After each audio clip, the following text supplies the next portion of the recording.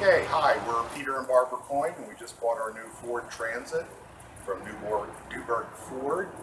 And I've been to a couple car dealers, and I'm very impressed with you guys. You were very accommodating, and uh, you took care of us. We're happy.